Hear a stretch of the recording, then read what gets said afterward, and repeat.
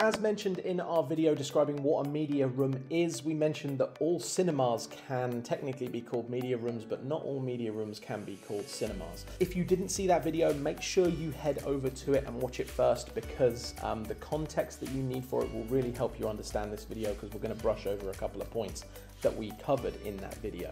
A media room can be both cheaper than a cinema and more expensive than a cinema, and a lot of it comes down to the function that the customer wants it to have.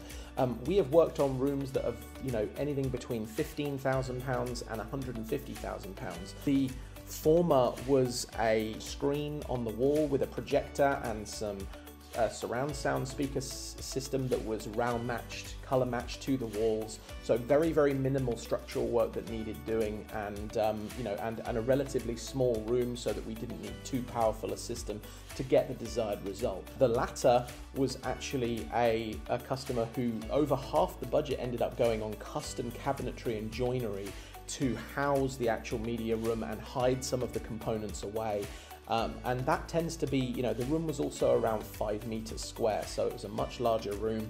But like I say, a lot of the budget went towards how the room looks and the aesthetic. Media rooms tend to have a little bit more put towards how it looks because it may also have another use, like as a living room or, uh, or an entertainment room, where cinema isn't the only focus. So tends to be that when you use things like projector lifts and drop down screens from the ceiling, those because they're mechanical, they tend to have uh, a higher value associated with them than a fixed frame screen that sits on a wall permanently. So bear that in mind. If you found this video helpful and you want to see more of it, we love making it, so it would be really helpful to us if you could like this video. And if you haven't already subscribed to the My Perfect Cinema channel, head over and press that subscribe button too. Thanks.